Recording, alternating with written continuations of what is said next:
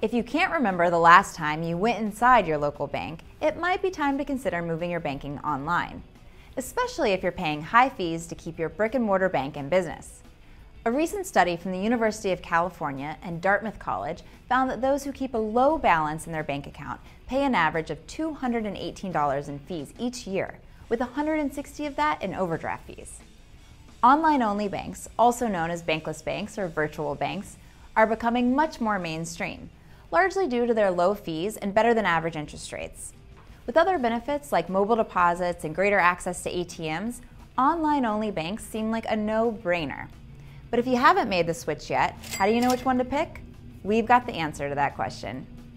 If you consider yourself tech savvy and prefer to be one step ahead of the crowd, check out two newcomers to the online-only banking scene, GoBank and Simple. They both offer easy to navigate websites and mobile apps that aim to streamline the customer experience. Both claim to be disrupting the traditional approach to banking by making fees completely transparent. And in the case of GoBank, you can actually choose how much you pay in monthly fees, and paying nothing is an option. While these banks are very new, their approach probably provides a window into what we can expect for the future of banking. If you'd prefer to stick with a more familiar approach to checking and savings accounts, choose one of the established online banks, like Ally, Capital One 360, Schwab, or USAA. When it comes to features and customer service, all of these banks provide a pretty similar experience. Check out the types of accounts they offer and pick the bank that suits your needs. Schwab is great for travelers because they reimburse ATM fees worldwide, but if all you care about are high interest rates, Ally consistently beats out the rest.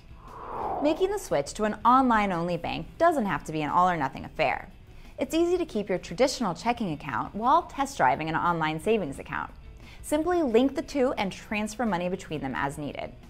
There are plenty of online savings accounts to choose from, including options from American Express, Discover, and Sallie Mae. With the abysmal rates for savings accounts at most brick and mortar banks, it's practically irresponsible not to move your savings online. For The Street, I'm Lauren Lyons Cole.